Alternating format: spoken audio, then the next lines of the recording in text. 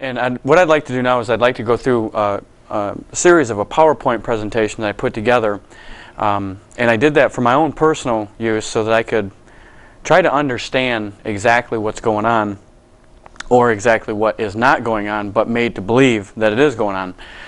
But first, um, kind of recapping what I've just covered is in regards to a loan, a loan has to be that which is given by one in exchange for another. In other words, somebody loans you something and you owe some kind of obligation. It's, it's actually an expression of promises going two ways. And the first claim, again, uh, what, what the claims are is that they loan the depositors money, or they use the bank's capital, or they use the bank's notes. Those are the three primaries that I keep hearing that what the bank did. You ask a banker, where did the money come from? Well, you're one of them crazy people that, you know, th it came from the depositor's money.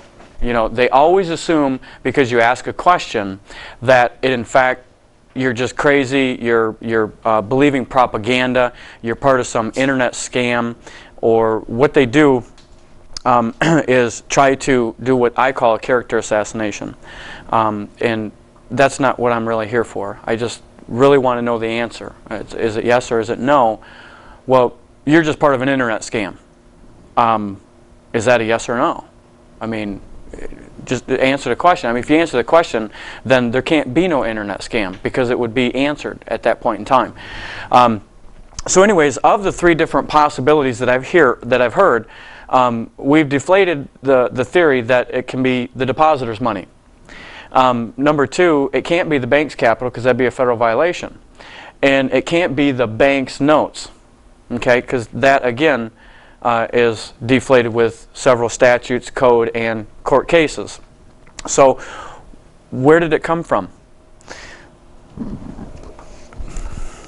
One thing that I've found inside of this book in, in the seven or eight years of study is their definition of the word reserves.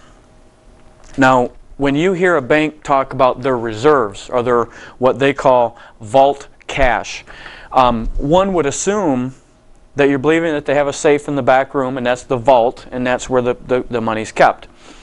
However, that's not what the Federal Reserve defines it as. Again, here we go back to the rectum theory. You think you're sitting on a rectum, but in law, it's a trial or accusation. Again, inside of the Federal Reserve Board of Governors book on their purposes and functions, on page 141, it gives a clear definition of what reserves are, or should I say their definition of what reserves are. reserves, a depository institution's vault cash up to the level of its required reserves, plus balances in its reserve account, not including funds applied to required clearing balance. Um, well, for the layman, why don't they just say the cash that's in the in the vault? Is that not what they interpret and make people believe? They represent to people that reserves are what the bank has from the people depositing money that's stored in their little bank vault in the back room. That's not nearly what that meant. Matter of fact, that's actually quite confusing. But it breaks off into three sections down here, and it says required reserves. Funds that a depository institution is required to maintain as vault cash or on deposit with the Federal Reserve Bank. In other words,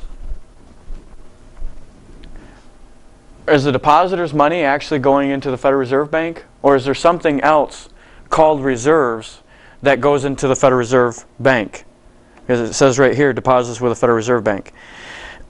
required reserve balance. Portion of its required reserves that depository institution must hold in an account at a Federal Reserve Bank.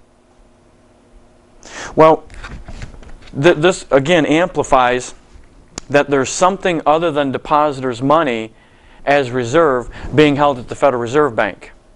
But I also look at that as the Federal Reserve Bank is ordering and requiring, it, it's a requirement. A requirement is a shall, that's an order. They're ordering the bank to keep a surplus of money or reserves, excuse me, not money, reserves in the Federal Reserve Bank. Well, that tells me that the very bank that we're talking about here, whichever one it be, is actually acting for the Federal Reserve Bank, which ties into the banks are an agency or an agent of the Federal Reserve Bank by their own admission here. It proves two different things. And then they've got one for excessive reserves, which is amount of reserves held by an institution in excess of its reserve requirements and required clearing balance. this brings me back to what are these reserves that they're talking about? Reserves. Well, the reserves can be deposits at the bank or deposits at the Federal Reserve Bank in their vault at bank, I'll call it. Okay? Well, what are they depositing at the Federal Reserve Bank? To me, after careful study, you have to go back to who? Who is the bank? Well, if the bank is an agent for the Federal Reserve Bank, if that's true, just hypothetically, I believe they are, but we'll just let this stand. If they are an agent for the Federal Reserve Bank, they talked you into signing this note. However, when you get into what is this note, you're leaving who the bank is. Who is the bank? The bank is an agent for the Federal Reserve, which one would believe that now that the bank is actually an agent for the government. Well, who in this country is authorized to make money? Who has the power to create money? And I've heard some people come back and say, well, the Federal Reserve Bank. Okay, I, I can accept that uh, after you show me the delegation of authority. Where's the delegation of authority for the Federal Reserve Bank to make money? Well, it's simple. Act of Congress. Okay, I'll buy that as long as you can show me the proper delegation of authority Congress gave to them or Congress received itself to make money. According to the Constitution, the Constitution has the authority to place the weights and measures to money. In other words, to tell us how much it's worth, not to make it. Well, Dan, that's crazy. Congress writes bills and bonds all the time. They're making money. Why? Where'd they get that delegation from? What a lot of people seem to miss is that a statute itself, or an act, statutes at large, create a fiduciary duty on the Congress. In other words, they write a statute down, that is their obligation and duty to the people to safeguard that which we put in them.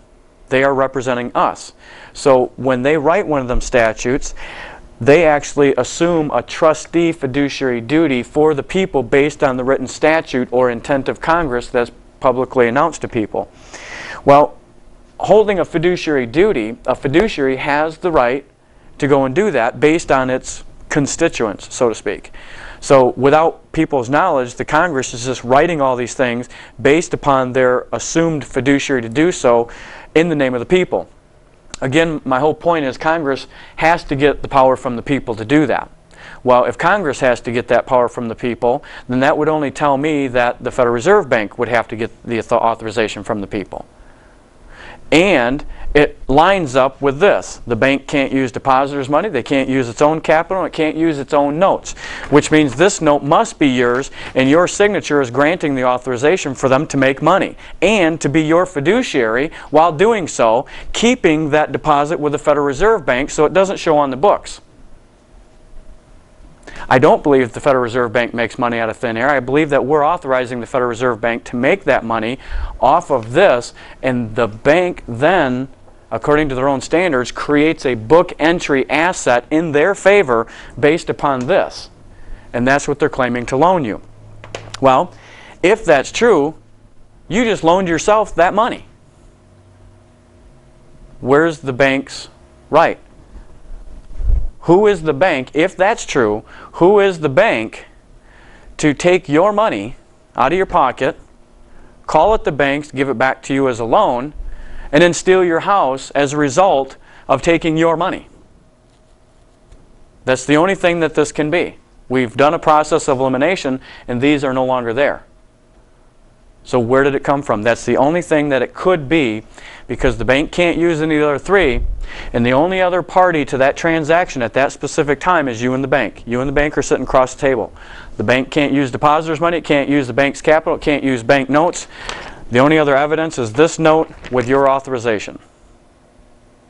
Well, if you authorize them to make that money, it's only true that it's your money to begin with. Unless, of course, you were grossly misled into just handing the bank uh, $115,000 and say, here's $115,000, why don't you loan it back to me and I'll give you 8% over 30 years. Otherwise, they're admitting to fraud and gross misrepresentation over here. Or they are admitting to fraud and gross misrepresentation by not clearly telling and disclosing all the facts to the uh, to this issue that was what that was contracted to. And again, that brings us back to contract law, where I found inside of Corbin's on Contracts, which is one of the most authoritative sources for contracts, um, in the section about voidable contracts and void contracts itself, the, the term validity as applied to contracts is a variable signification. There are varying degrees of validity. An oral contract, which this is not, within the statute of frauds is unenforceable under some circumstances, but it has a high degree of validity.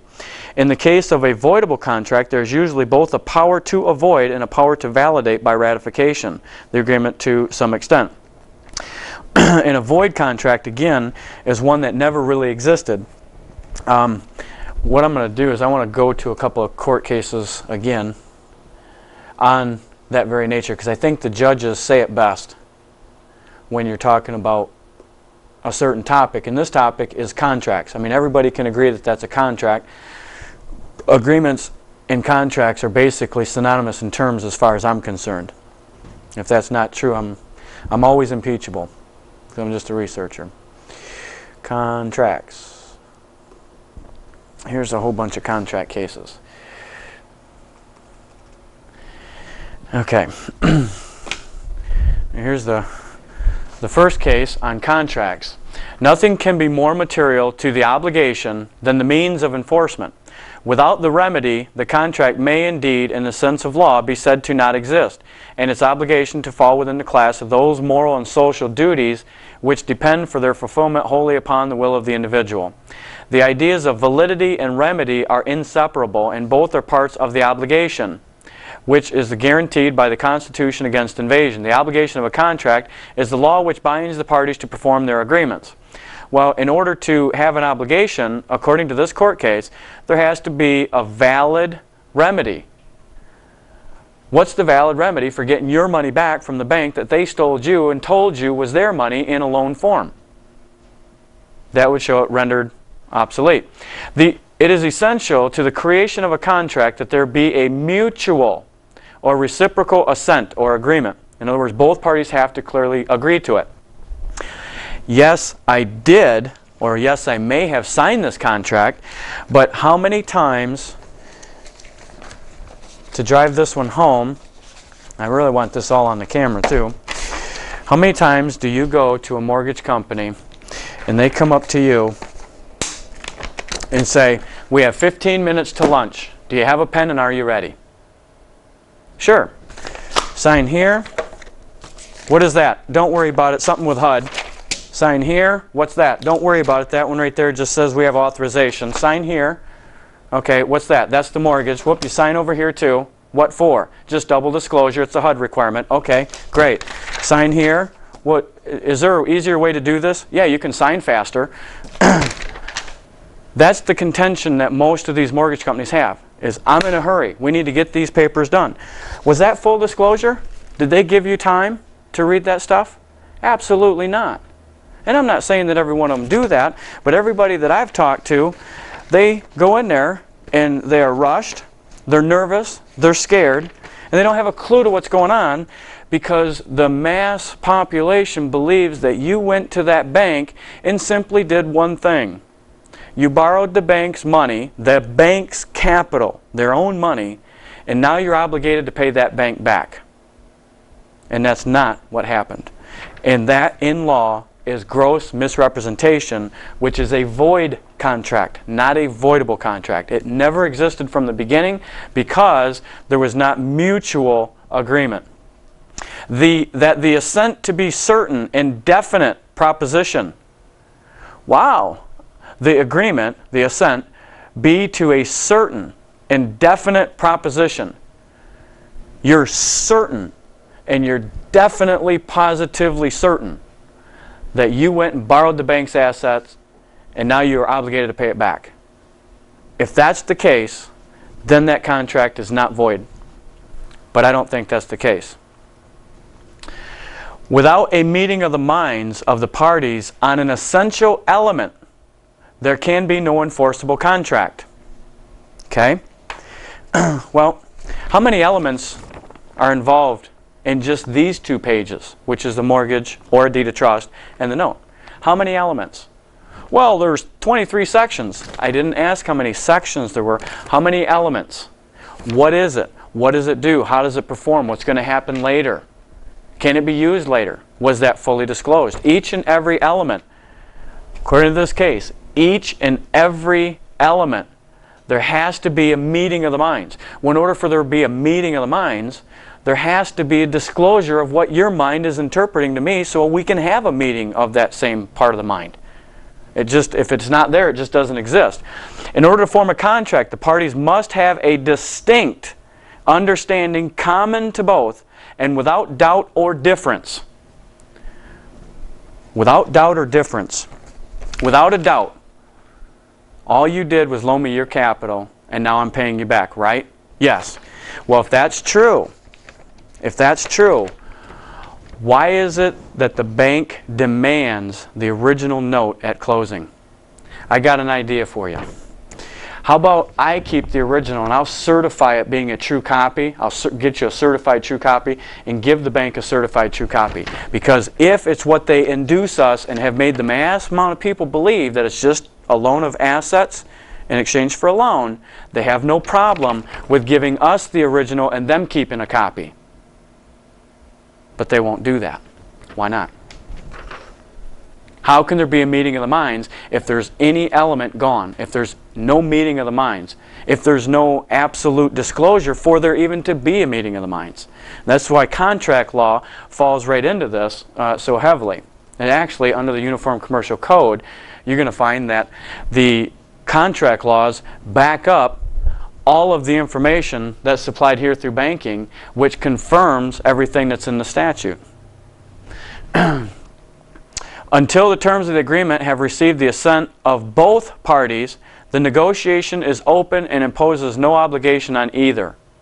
The assent of each party must be freely given. A contract entered into as a result the exercise of duress or undue influence by the other party or procured by fraud of one of the parties lacks the essential element of real assent and may not be avoided by the injured, injured party and excuse me and may be avoided by the injured party. So in other words all these are kind of just amplifying each other that there has to be a clear distinct mutual assent of the meeting of the minds of each and every element of that contract otherwise there is no contract and now to the PowerPoint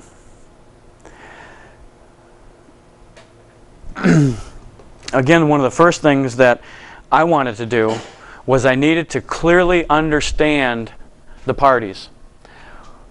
Who am I and who is the bank?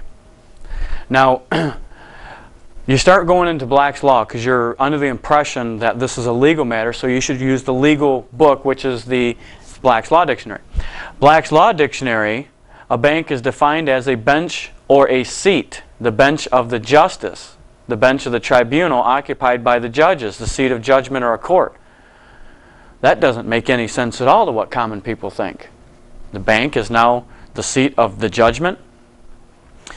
Going down a little further, it also defines it as an establishment for the custody, loan, exchange, or issue of money.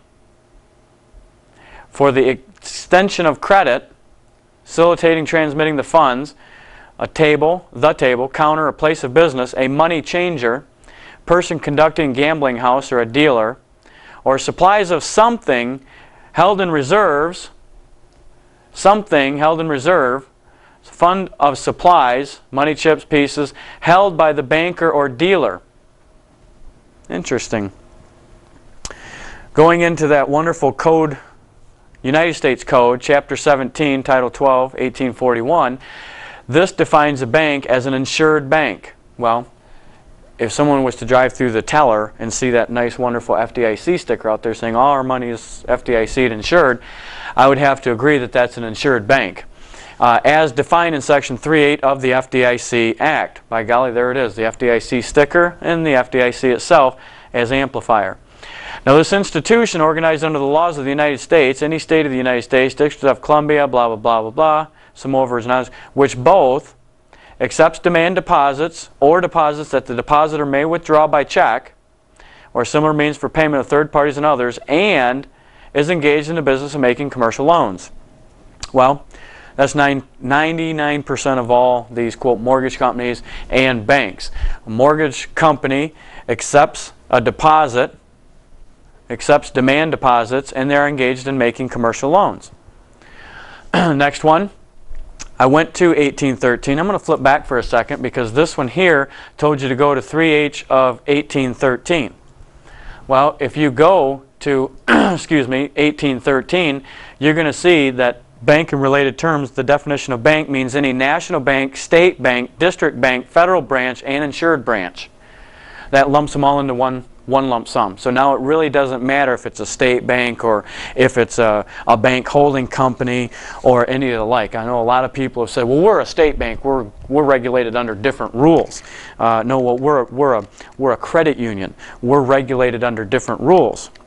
Well, that's fine, and I'll conditionally accept that as long as you're telling me that the Federal Reserve Bank's own publication, as soon as I can find it here, uh, is lying to the people. Because uh, they point blank tell inside of their own book. Matter of fact, they not only tell you about it, they show you a nice picture of it. And it is right here. Nice little picture showing you, again, what all is part of the Federal Reserve Bank. It's, I mean, it's, it's their book. Again, this is published by the Board of Governors, not just the regular Federal Reserve. This is from the Board of Governors the Federal Reserve, purpose and functions, not only shows you a picture, but it talks about who member banks are and what member non-member banks are, and how non-member banks have to um, abide by the same rules. So it doesn't matter if you're a member bank or non-member bank, and it doesn't matter if you are a commercial bank, an agricultural bank, a bank holding company, an industrial bank, a neighborhood bank, uh, another community bank, drive-in bank, all those are defined as a bank, again, as just as it's stated here in the FDIC Act. that picture also does demonstrate and proves that they're all lumped up under the Federal Reserve, meaning that they're all agents to the Federal Reserve as well. now, what I like to do when I do research is, um, one, we, we, looked at a lot of court cases and we looked at a lot of code and we looked at some statutes. Um, but there's some other parts of the equation that I also do research on because what I like to do is if I, if I have a topic I want to make sure that the United States Code matches what I'm thinking. I want to make sure that the courts have agreed on what I'm thinking. I want to make sure that the Uniform Commercial Code, which we'll, we'll talk about a little bit more here later, uh, I want to make sure that the Uniform Commercial Code matches. I want to make sure that it passes a smell test. I mean, okay, now that I have this information, does this make sense to me? And uh, obviously, I also want to make sure that it matches with like the uh, intent of Congress. Now here is an act. This is the Bank Holding Company Act. Just so that we get clarity, we went from the FDIC to the Federal Reserve, and now we're going into the Holding Company Act. Uh, definition of bank means any of the following. An insured bank, an insured organization, which both accepts demand deposits or deposits that the depositor may withdraw and is engaged in a business making commercial loans. That sounds very familiar to what the Federal Reserve said under the uh, 12 U.S.C.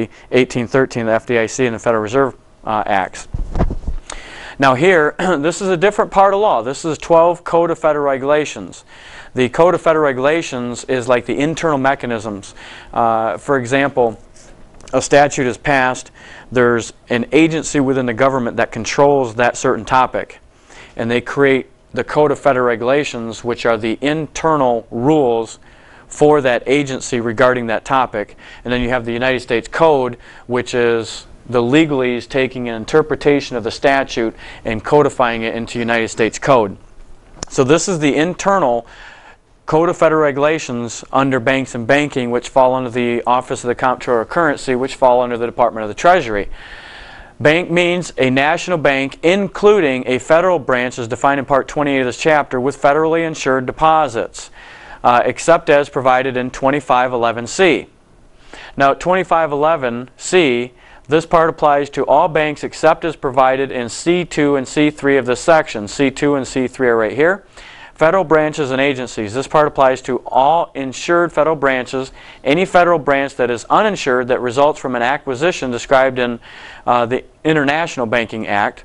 And then C3, certain special purpose banks. This part does not apply to special purpose banks that do not perform commercial or retail banking services by granting credit to the public in ordinary course of business. I've heard several people that uh, called me up and said, hey, uh, I was in court and, and I asked the banker um, and the attorney if the bank loaned me their own capital. And it's amazing that the bank won't answer this question, especially in court. I mean, you are there to tell the truth, the whole truth, and nothing but the truth. Yeah, obviously, we're in court. Why would that question be so hard to answer? Did you loan me your own capital, yes or no? Well, if they say no to it, then obviously they don't have any, any rights as standing. If they say yes to it, I recall section 35 and 37 of the actual statute intent of Congress stating that's a federal violation for them to use their own capital. So they're kind of caught in a catch-22. However, what the attorneys and bankers have answered when they do answer, if you can get the banks or attorneys to answer, is no, we didn't loan our capital, we extended credit. Well, what's an extension of credit? an extension of credit is a loan. They extended you something. There, there's obvious value to that credit.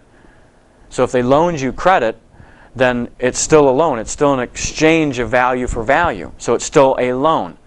So is that a yes or a no? They won't answer that question. Did you loan us your own capital stock? No, we extended credit. Well, was that a yes or a no? They won't answer that question. Well, that tells me that they didn't loan me anything. Why, otherwise, they would just answer the question. So all we want to do is just get the questions answered. So this goes through and what it does, after it starts talking about this extension of credit by certain special purpose banks, it gives a reference to this 12 USC 24 7th, which comes in very helpful later. 12 U.S.C. Chapter 3, Section 222, Federal Reserve District's membership of national banks.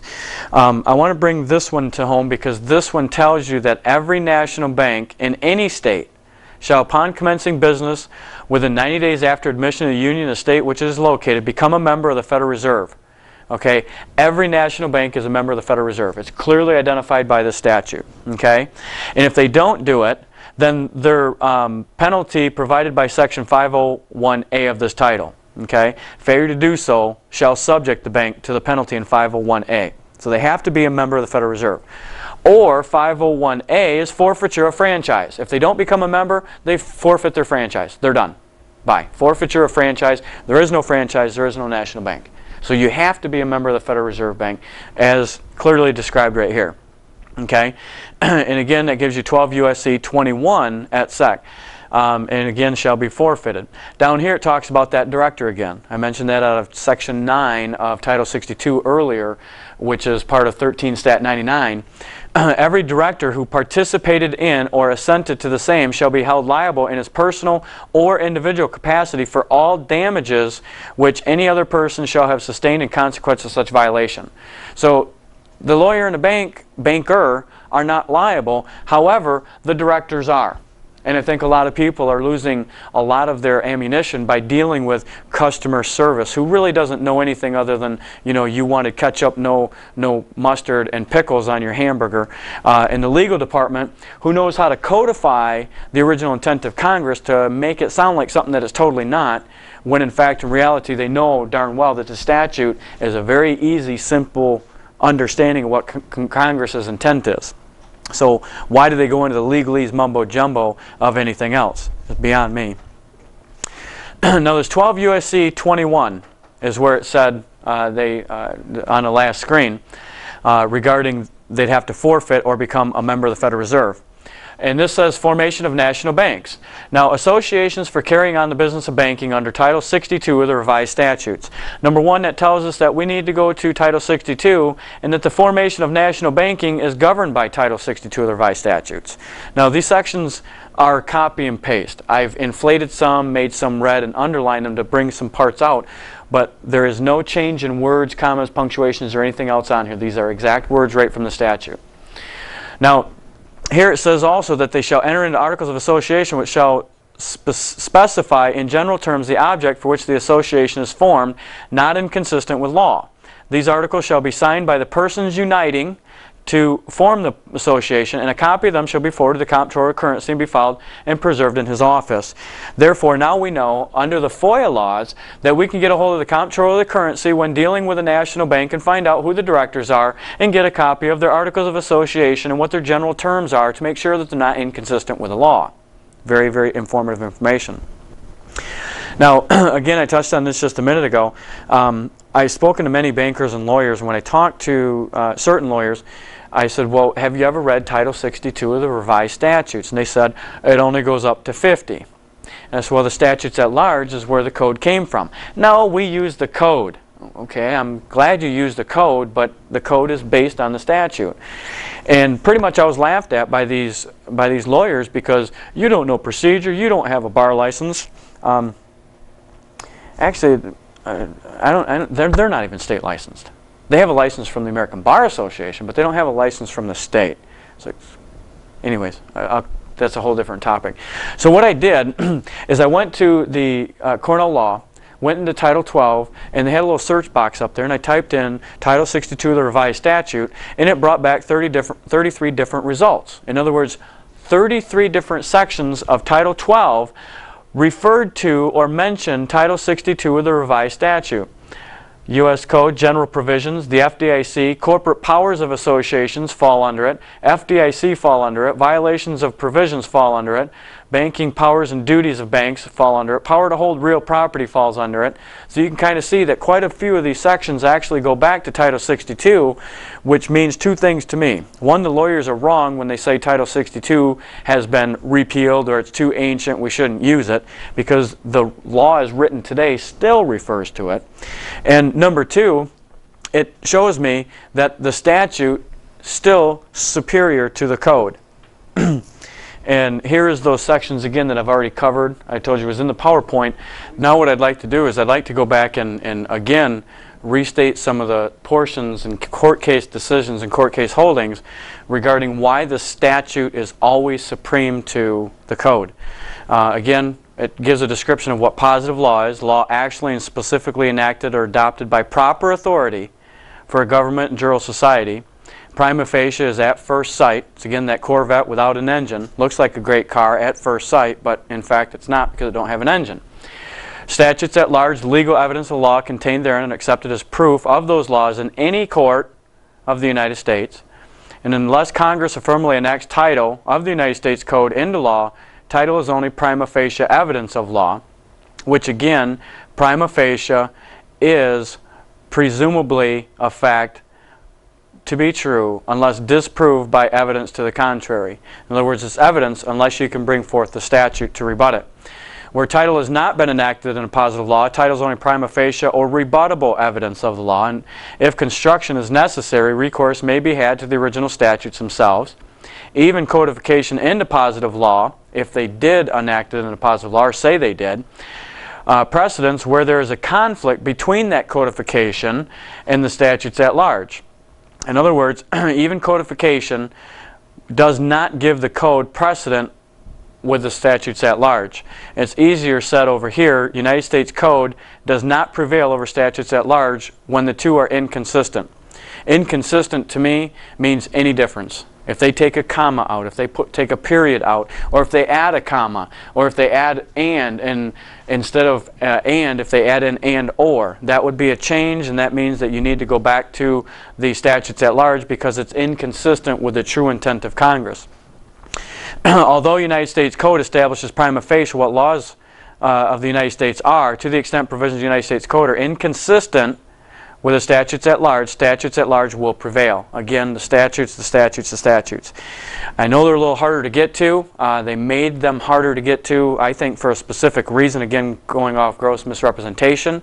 But get to a library and get some of them comments, uh, some of the statutes. Or um, half a million people decide, hey, let's start making this publicly noticed. Put it online for us. If enough people complain, maybe they'll do that. Maybe they won't. Again, when a loan is intentionally made by an insured bank, one tends to believe they were loaned the bank's